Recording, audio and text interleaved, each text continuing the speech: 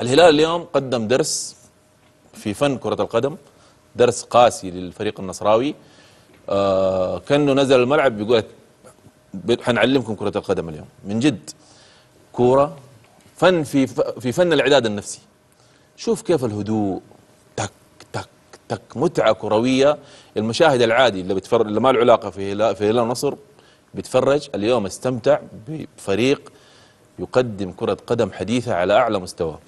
سجل الهدف الأول فريق. شوف شوف شوف شوف التكتيك شوف ال... إيش جارديم والهلال بعد جارديم. التحرر اللي حصل في لاعب الهلال المرونة التكتيكية شفتوا كن لما كنا نتكلم اللاعبين استاتيك ما في مرونة تكتيكية مع جاردم اليوم العكس مع هذا المدرب مع دياز. شوف لو سألت لعيبة الهلال قال لهم ألعبوا. ألعبوا استمتعوا كل واحد يخرج ما عنده. طبعا في إطار تكتيكي معين.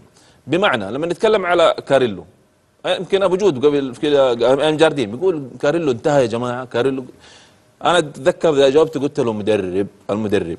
في مدرب يجيك ويمكن الكابتن وليد يعرف هذا الكلام مر عليه في مدرب يجيك يهجمك يقول لك تتحرك في الأمتار هذه تتحرك في الأمتار هذه. هذا ما عنده هذا الكلام.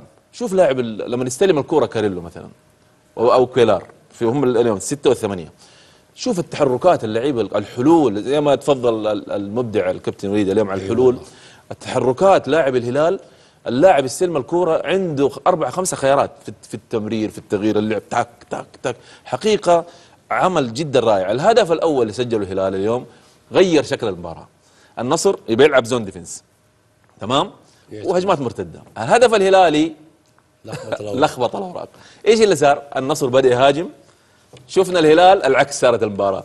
شوف شوف الفكر الإداري الوعي الكبير لدى اللاعبين شخصية اللاعبين. رجعوا شوية. طيب تعالوا. تك مرتدة تك مرتدة. سجلوا وضيعوا أهداف بالكوم. من هجمات مرتدة في ظل فوضى تكتيكية في الفريق النصراوي. واضح مدرب مستسلم قاعد يتفرج. فريق غير معد نفسيا. شاهد معظم اللاعبين في مستوى سيء جدا. انسلموا للمباراة الثانية على التوالي قاعد يلعب كأنه قاعد يلعب لوحده.